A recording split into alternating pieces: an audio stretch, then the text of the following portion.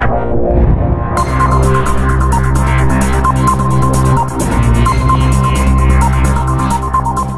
युट्युबमा तपाईँको news TV र फेसबुक पेजमा फुलगम्मा डट कममा यहाँ सम्पूर्ण दर्शकहरूलाई स्वागत छ। म सन्तोष। आज नेपालको धनुषा जिल्ला अन्तर्गत नागरायण नगरपालिका फुलगम्मा वार्ड नम्बर चारको यो मनसा राम मन्दिरको दृश्य र यहाँ म उपस्थित भएर यहाँको विशेष खबर सम्पूर्ण दर्शक महानुभावमा राख्न चाहन्छु। आज विशेष खबर यो रहेको छ भन्दाखेरि यो मन्दिर राम जातिको कुल देवता मनसा रामको रहेको छ।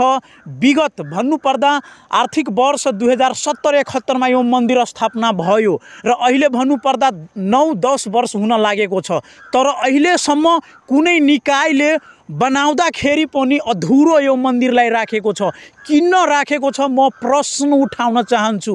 किन यो अहिले यो म भन्नुपर्दा नगरायण नगरपालिकामा विभिन्न मठ मन्दिरहरू पाठी पवा रोडहरू अन्य किसिमका कुराहरू कामहरू गर्दाखेरि भइसकेको छ। तर यो मन्दिरलाई किन लापरवाही गरेर अधुरो राखेको छ? के कारण छ यो मन्दिरमा भ्रष्टाचारी गर्ने? को हुन् त? किन बनाएन यो मन्दिरको अवस्था? हेर्नुहोस् त चारैतिर यो मन्दिरको वरिपरि एकदमै नाजुक अवस्था छ। विगत दस वर्ष हुन लागेको छ।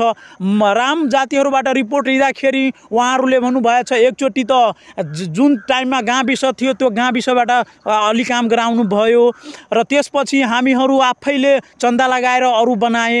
अनि विभिन्न समयमा अरू रिपोर्ट दिएछ कि अ, नारायण नगरपालिकाबाट पनि केही रुपियाँ दिएर यो मन्दिरको अवस्था यो छतहरू बनायो तर अन्य कुराहरू गरायो। तर यो किन्न समयमा निर्माण गराएन के? यो यत्तिकैको लागि हो। यो मन्दिरमा अरू काम छैन बस भइहाल्यो।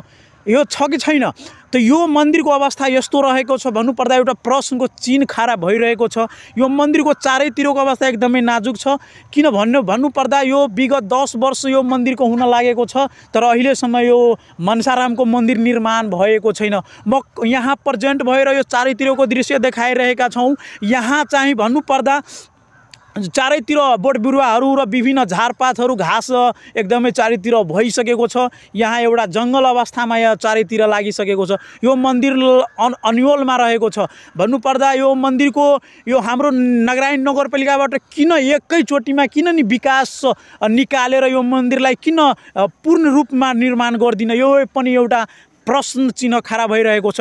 कृपया तपाईँहरू यो भिडियोलाई अत्यन्त जो एकदमै सेयर गरिदिनु होला। किनकि यो चाहिँ फुलगमा वार्ड नम्बर चारको विशेष मनसा राम मन्दिरको रिपोर्ट रहेको छ। यस्तो अन्य ठाउँमा पनि हुनसक्छ साथीहरू तपाईँहरू यो भिडियोलाई एकदमै सेयर गरिदिनु होला। यो हेर्नु त एकदमै अगाडिको यो पिलरलाई पनि हेर्नु त हेर्नु त यो लाग्छ कि यो के खम्बा जस्तो बनाएको छ के पिलर हुनु पर्दा अलिक मोटो हुनु पर्थ्यो नि यहाँ हेर्नमा अलि राम्रो आकर्षक हुनु पर्थ्यो नि यो हाम्रो मन्दिरको लागि हो नि त किन भएन यस्तो हेर्नु त चारैतिर एकदमै घाँसपात छ रहेको छ र यो मन्दिरको यो मन्दिरलाई कसले अल्झाएर राखेको छ त?